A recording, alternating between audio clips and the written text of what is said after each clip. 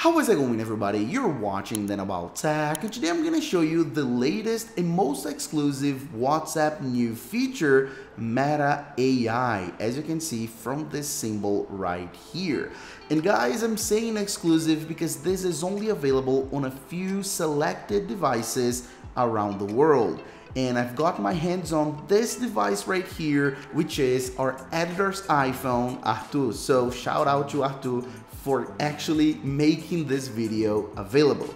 Let me show you what I'm talking about. Apart from the Meta AI icon right here, another giveaway that you have the new feature is the green accents. As you can see, the new interface on WhatsApp. So since we have it, we can simply use Meta AI in two different ways. One is to tap on the icon itself, and right here you can ask Meta anything that you want. And then you can use this as if you're talking to ChatGPT and it, it's gonna give you some prompts like some examples. So for example, this one is pretty interesting, Mac or PC, right? And as you can see, it's your choice and it's gonna say a bunch of things and naturally it's not gonna say a direct, precise answer because of course this is a subjective question, right? And naturally you can just talk to Meta AI. You can tap on message and you can go ahead and ask anything. For example, who will win the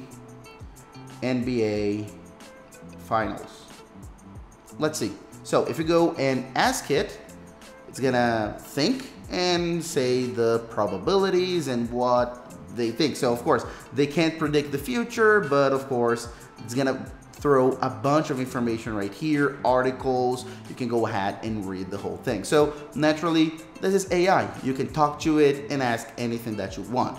But Meta AI isn't just that on WhatsApp.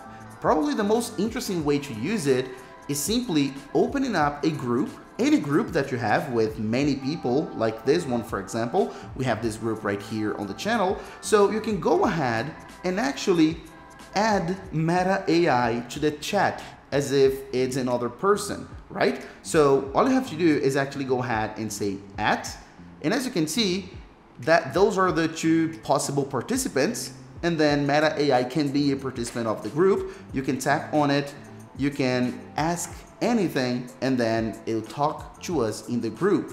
So for example, you can say, hi, and then continue, and then as you can imagine, it's gonna say, hello, it's nice to meet you, how can I assist you, and so on. And you can do the exact same thing. Ask any question, you can, it's gonna help you sort any problems, and you can actually use it for work and productivity if you want to, or just to have some fun.